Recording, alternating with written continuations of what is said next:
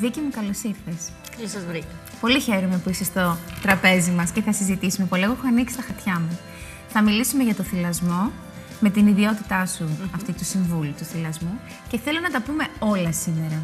Γιατί όχι; Να τα πούμε όλα, γιατί υπάρχουν ε, διάφορες απόψεις περί θυλασμού. Υπάρχουν ε, διάφορα στρατόπεδα μάλλον θα έλεγα. Υπάρχουν οι πολύ φανατικοί, υπάρχουν ε, οι λίγο πιο μετριοπαθείς, υπάρχουν ε, αυτοί που προτείνουν άλλα πράγματα πιο με σοβέζικες συνδυαστικές λύσεις. Υπάρχουν και οι άνθρωποι που. οι γονείς, οι μαμάδες, οι οικογένειες που επιλέγουν να μην ακολουθήσουν καθόλου το θυλασμό.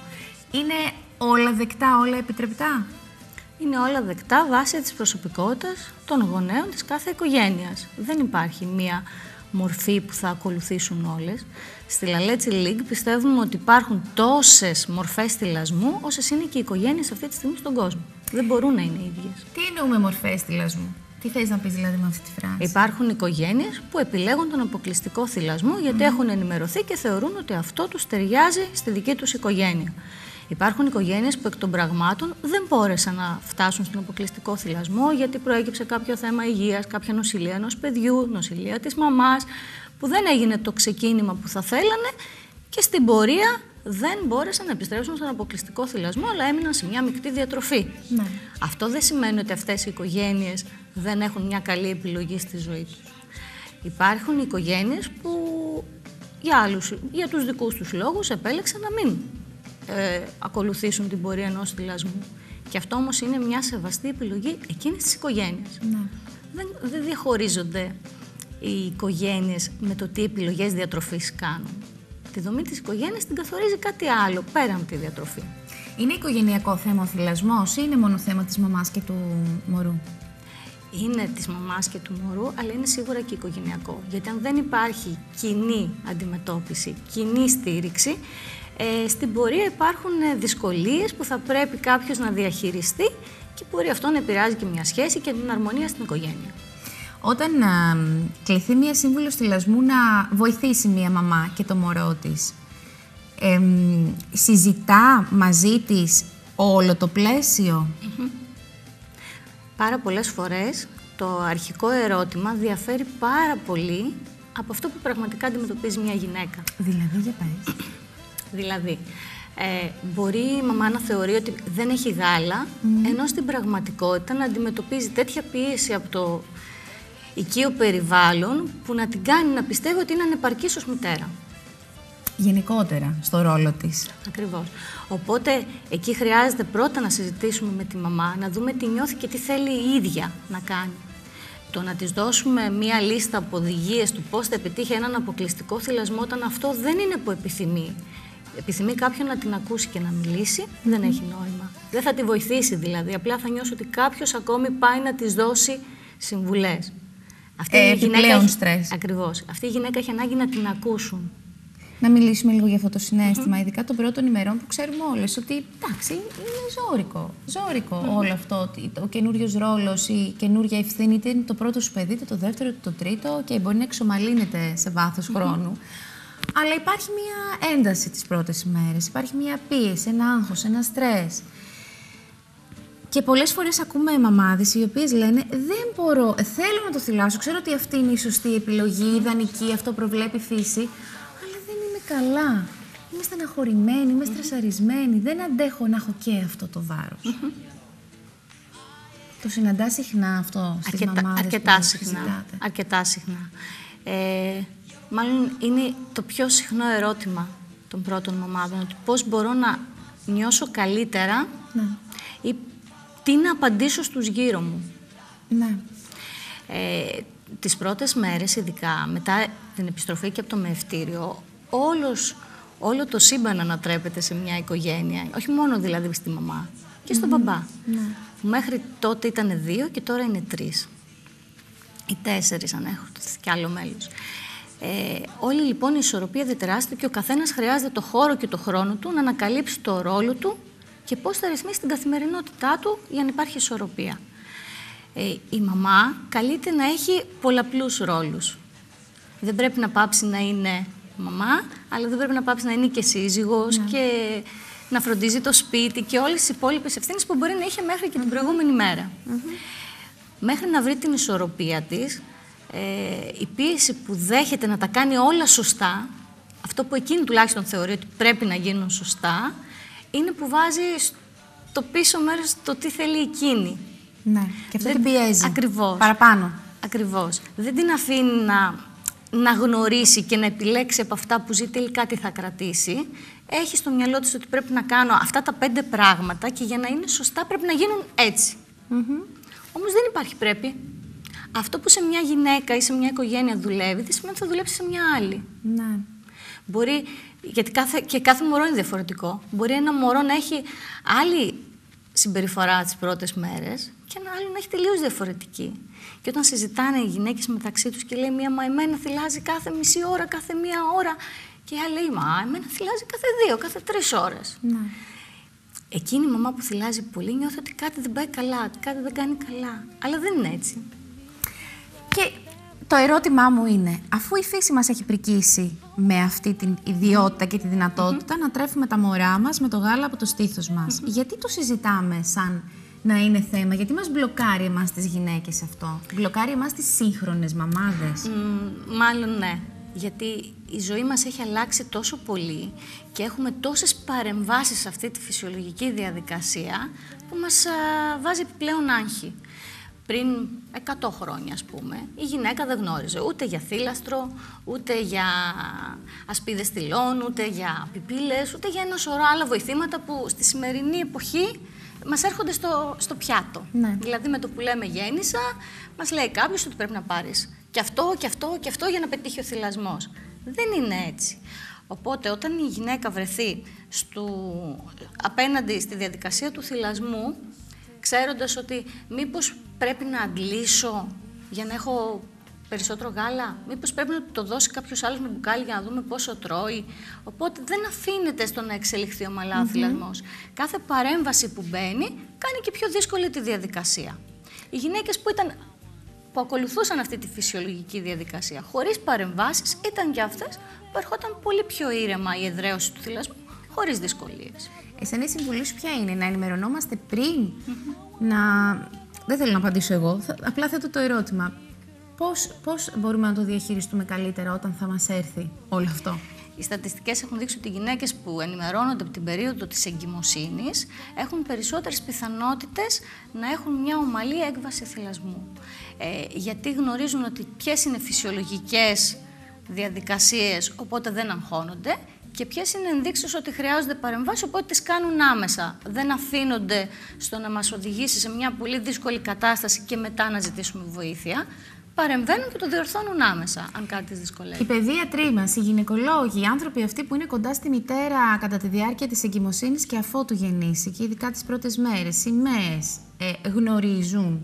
Η εμπειρία σου τι λέει, ξέρουν από θυλασμό, από θέματα θυλασμού, ξέρουν να συμβουλεύσουν; Ε, ο θυλασμός δεν αποτελεί ιατρική πράξη. Κατά συνέπεια δεν διδάσκεται ο θυλασμός στην ιατρική ε, παρά μόνο σε έναν πολύ μικρό βαθμό και όχι στα πρακτικά. Δηλαδή, ε, διδάσκεται στο κομμάτι που θα καταλήξει μια γυναίκα στο γιατρό της. Σε ναι. μια μαστίτιδα, σε μια... Εφόσον έχει ένα ναι. πρόβλημα. Κάποια που απαιτεί ιατρική παρέμβαση. Ναι. Η ομαλή όμως εξέλιξη του θυλασμού δεν αποτελεί ιατρική πράξη. Οπότε ένας επαγγελματίας υγείας πιθανόν να μην γνωρίζει πώς θα καθοδηγήσει μια μαμά που θέλει να επιστρέψει στην εργασία της και θέλει να συνεχίσει να θυλάζει, γιατί δεν αποτελεί ιατρικό ρόλο. Το Αυτό μπορεί να το κάνει μια σύμβουλος θυλασμού. Με ναι. ποια... Θα κάνω τώρα ένα ερώτημα το οποίο ξέρω ότι θα ενοχλήσει πολλούς ενδεχομένως. Πώς γίνεται λοιπόν όταν γεννιέται ένα μωρό οι ΜΕΕΣ να παίρνουν την ευθύνη και να δίνουν ε, συμπλήρωμα γάλακτος σε ένα παιδί και δεν αφήνουν απλά το μωρό να θυλάσει. Αυτό Εκτός και αν είναι πολύ επιτακτική η, η, επιλο... η, πώς το λένε, η μητέρα και πει ότι δεν επιτρέπω να δώσετε στο παιδί συμπλήρωμα. Ε, αυτό έχει να κάνει με την πολιτική του μευτηρίου, του πώς λειτουργούν. Και στα δημόσια νοσοκομεία είναι αυτό. Κανονικά, ε, βάσει κανονισμών, η χορήγηση συμπληρώματος απαιτεί ιατρική γνωμάτευση που θα λέει ότι αυτό το παιδί πρέπει να σητιστεί με ξένο γάλα. Στην πράξη αυτό όμως δεν ακολουθείται, Βίκη μου. Δηλαδή η εμπειρία μας έχει δείξει ότι δεν ακολουθείται. Ναι, γιατί είμαστε η γενιά που έχασε το θυλασμο και θεωρούμε ως φυσιολογική διαδικασία τη σύντηση με ξένο γάλα και αυτό κιόλας προωθούμε γιατί θεωρούμε ότι είναι και πιο εύκολη η εξέλιξη. Δηλαδή είναι πιο εύκολο για ένα επαγγελματικό χώρο τα μωρά να ταΐζονται κάθε τρεις ώρες από το να ταΐζονται όποτε θέλουν. Που μπορεί να είναι κάθε μισή ώρα, κάθε μία ώρα, να πρέπει να είναι συνέχεια στη μαμά τους. Ωραία. Θα σου κάνω άλλη μία ερώτηση. Επίσης δύσκολη. Ε, κλασικό παράδειγμα. Μία μαμά αγχωμένη, στρεσαρισμένη, η οποία μανούλα είναι στο μευτήριο, είτε στην ιδιωτική κλινική, είτε στο νοσοκομείο, στη μευτική κλινική ε, τη βλέπουν οι ΜΕΣ ότι δεν είναι τόσο καλά πούμε, ψυχολογικά, οπότε θα της πούν: Ξέρεις κάτι, μπράβο, πολύ καλά κάνεις που θυλάζεις, αλλά δεν πειράζει, δώσ' του και ένα μπουκαλάκι να κοιμηθείς και εσύ το βράδυ και θα στο έχουμε εμείς το μωρό μέσα. Τι απαντά αυτό; Ότι τα μωρά είναι από τη φύση τους και όλα τα θηλαστικά όντα φτιαγμένα ώστε να βρίσκονται κοντά στη μαμά τους. Για ένα μωρό αποτελεί μεγάλο στρες να απομακρυνθεί από τη μαμά του. Το να το απομακρύνουμε για να κοιμηθεί ε, το μόνο που του κάνουμε είναι να του επιβάλλουμε μεγαλύτερο στρες από ό,τι μπορεί να βιώσει. Έχει βρεθεί ότι η παλμή της καρδιάς και η αναπνοή ενός μωρού που βρίσκεται κοντά στη μαμά του είναι σε πολύ καλύτερα επίπεδα από ένα μωρό που απομακρύνεται από τη μαμά του. Μπορεί να κοιμηθεί πιο βαθιά, μπορεί να κοιμηθεί τρεις ώρες και να ξεκουραστεί για λίγο η μαμά αν νιώθει κουρασμένη. Αλλά στην πραγματικότητα είναι μια παρέμβαση στη φυσιολογική διαδικασία ενός μωρού που προσπαθεί να ρυθμίσει την αναπνοή του και τους καρδιακούς παλμούς σύμφωνα με τη μαμά του. Εάν εγώ ήμουν τώρα ε, λεχοειδα ε, δεύτερο 24ωρο που έχω γεννήσει το παιδί μου, σε μία έξαλλη κατάσταση, αγχωμένη, στρεσαρισμένη, όλα, όλα αρνητικά μέσα μου και μου έλεγες και αυτό από πάνω, θα έλεγα Θεέ μου, δεν μπορώ να αντέξω αυτή την ευθύνη. Με φορτώνεις με ενοχές αυτή τη στιγμή, δίκη μου. Πώς μπορώ εγώ να διαχειριστώ ότι ε, έχω την ανάγκη να ξεκουραστώ, να κοιμηθώ, να παραχωρήσω για λίγο την ευθύνη του παιδιού μου και της σύντησής του σε κάποιον ειδικό, σε μία μέα, η οποία μου λέει: Εντάξει, δεν θα πάθει και τίποτα το παιδί με ένα μπουκαλάκι. Και εσύ θα κοιμηθείς και αυτό θα κοιμηθεί και θα ηρεμήσει. Αλλά εγώ την ίδια στιγμή νιώθω ενοχές που πρέπει να το κάνω αυτό. Ενώ έχω άλλη ανάγκη εκείνη την ώρα. Άρα αυτό που πρέπει πρώτα να δούμε είναι τι ανάγκη έχει η ίδια η μαμά. Η ίδια πρώτον θέλει να απομακρυνθεί από το μωρό της.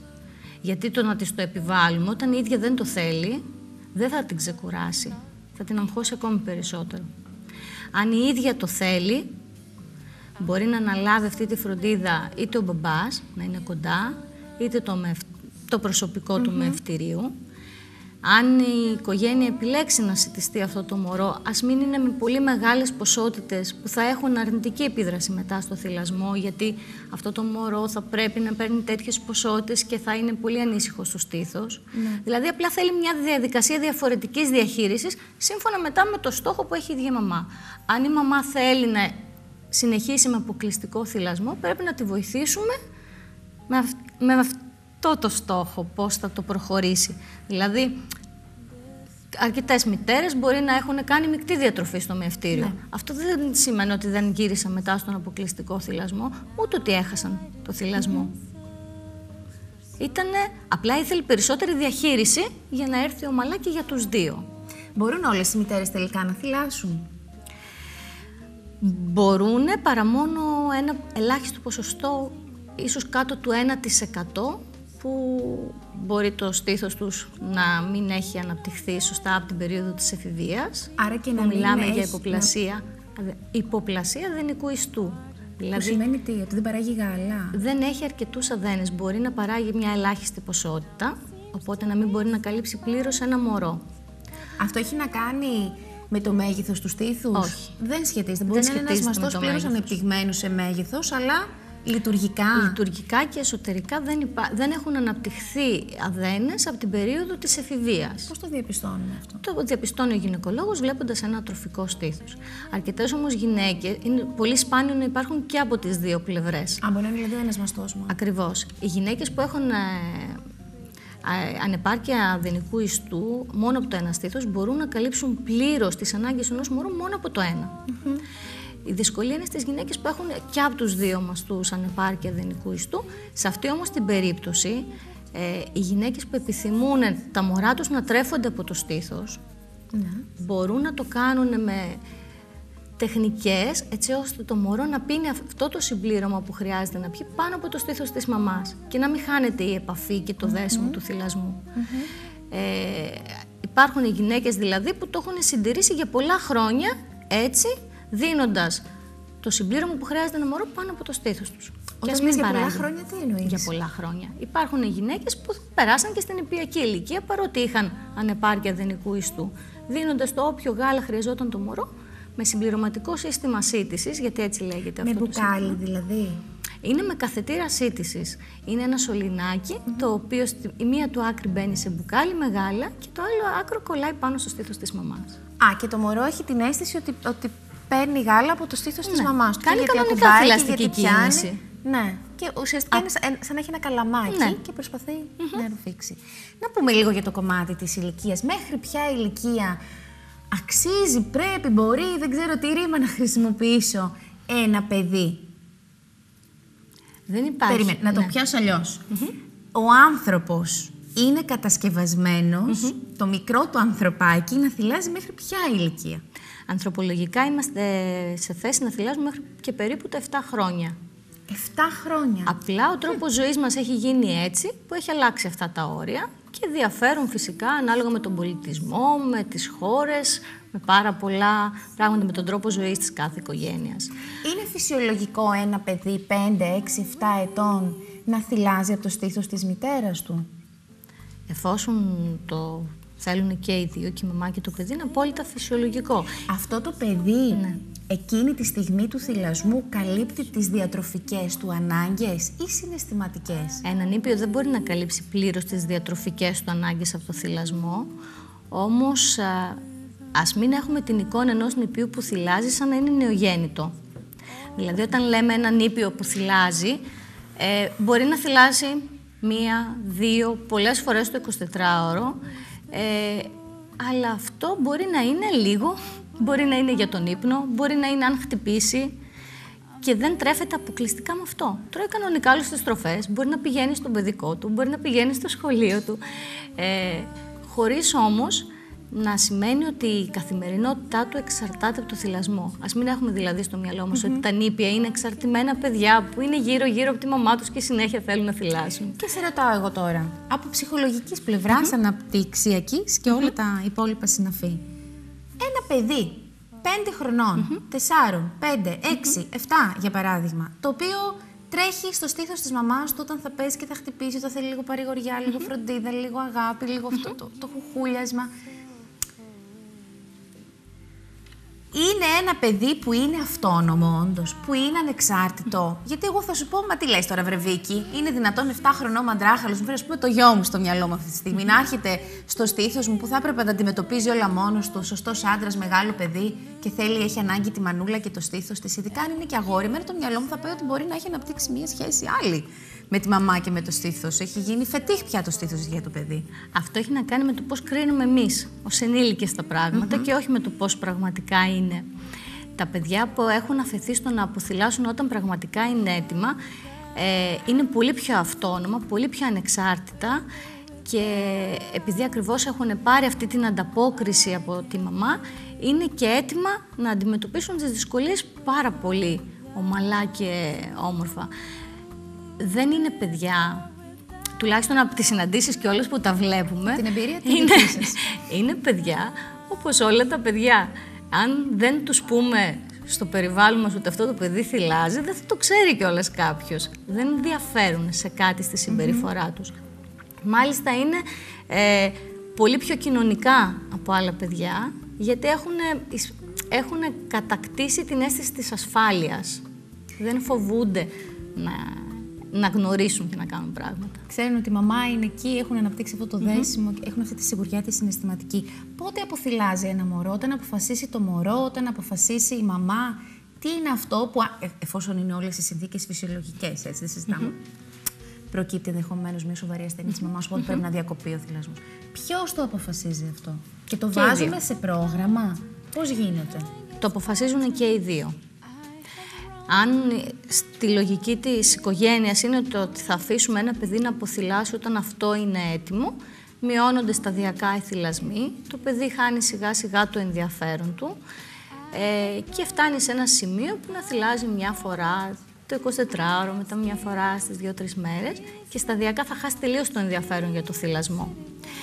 Όμως, όσο και να θυλάζει, ακόμη και αν παίρνει μια σταγόνα γάλα από τη μαμά του, στην υπιακή ηλικία το γάλα αυτό είναι τόσο πλούσιο σε αντισώματα, γιατί ακριβώς αυτό το νήπιο έρχεται σε επαφή με πάρα πολλά μικρόβια και πάρα πολλές ασθένειες. Μέσω της επαφής με το στήθος της μαμάς, το σώμα της μαμάς σε περίπου 8 ώρες έχει παράγει αντισώματα για να καλύψει και τη μαμά και το παιδί που θυλάζει. Οπότε αυτά τα παιδιά, ακόμη και αν πάρουν μια σταγόνα γάλα, θα πάρουν κάτι πολύτιμο. Δεν... Νομίζω ότι όλε οι μαμάδε μας ακούνε αυτή τη στιγμή. Αχ και να είχα λίγο γάλα στο ναι. στήθος με αυτή την περίοδο. Έτσι.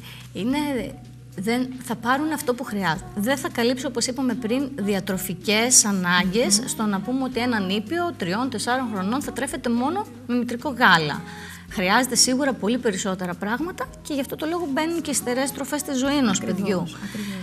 Αλλά μετά την υπιακή ηλικία, μετά τον πρώτο χρόνο, το μητρικό γάλα είναι πλούσιο σε αντισώματα, ε, καλύπτει μεγάλο ποσοστό βιταμινών B, D, Α που είναι απαραίτητες για το κάθε παιδί και το ίδιο το παιδί λοιπόν όταν θα πάψει να έχει ανάγκη και να καλύπτεται από τις τροφές που παίρνει τις στερεές και πάψει να έχει και το ενδιαφέρον να θυλάσει, θα αποθυλάσει.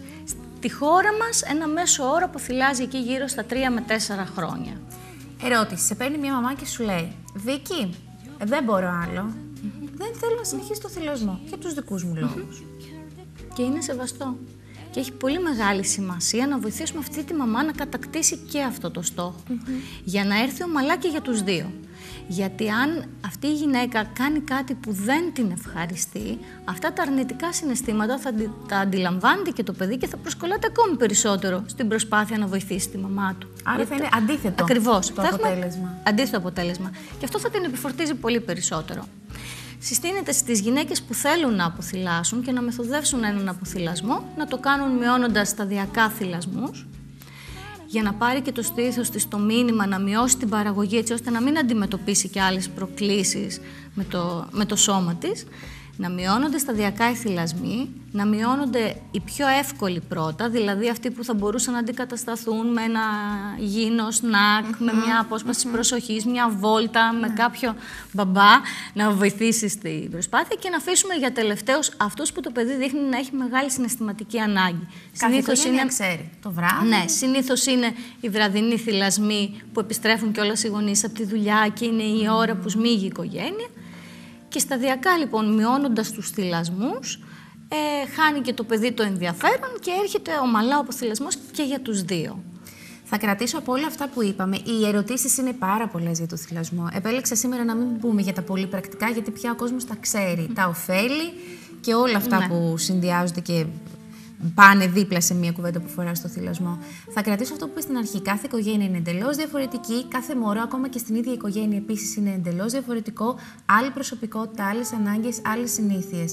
Α φύγουμε από τα πλαίσια, τα πολύ στεγανά, ότι έτσι πρέπει να γίνεται, γιατί έτσι το λέει το βιβλίο, γιατί έτσι μου είπε εμένα η σύμβουλός μου ή η ΜΕΑ ή ο γιατρός. Και καμιά φορά τα βιβλία κάνουν λάθος. Κάνουν λάθος πολλές φορές γιατί μιλούν για το μέσο όρο και κανείς μας δεν είναι τελικά ο μέσος όρος. Είμαστε πολύ ξεχωριστοί. Βίκη, σε ευχαριστώ πάρα και εγώ πολύ. Ευχαριστώ. Να είσαι καλά, πάντα χαίρομαι όταν τα λέμε και τηλεοπτικά. και εγώ ευχαριστώ. Να είστε κι εσείς καλά, να έχετε ένα υπέροχο απόγευμα. Τα φιλιά μου και καλή συνέχεια.